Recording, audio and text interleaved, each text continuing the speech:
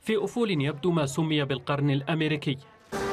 لا تواجه واشنطن صعودا صينيا بخطوات عملاقة فحسب ولا عودة قوية لوريثة السوفييت روسيا بل ثمة ما يشغلها في غير منطقة نفوذ أخرى.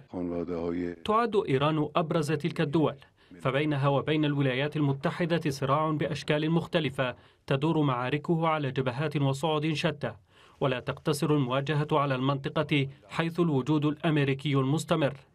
مواجهة كادت تصل إلى حرب ساخنة لولا أن بدا لواشنطن أنها ستكون باهظة وهي الحرب التي إن وقعت لا يمكن بأي حال أن تقارن بغزو العراق في ظل تنامي قوة إيران الضاربة وقدراتها التسليحية دفاعية كانت أو هجومية.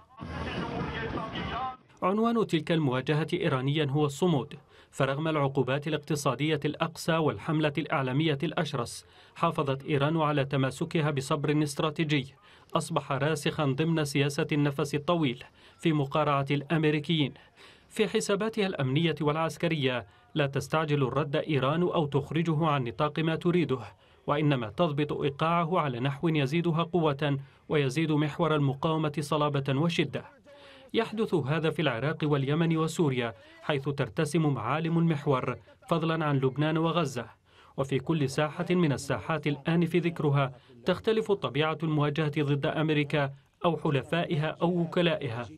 الأكيد أن واشنطن تحاول إعادة ترتيب أوراقها مع مجيء الرئيس جو بايدن إما التفافا على صمود إيران والمحور أو انتهاجا لسبيل الخدعة السياسية وتفخيخ المبادرات والحلول لأزمات المنطقة.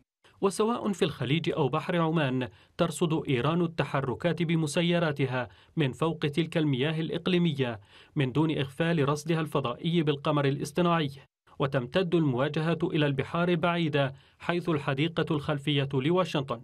حصل ذلك في فنزويلا إذ شقت السفن الإيرانية طريقها لإمدادها بالوقود رغم التهديد الأمريكي الذي لم تصمت إيران إزاءه وفرضت معادلة جديدة في كسر الحصار.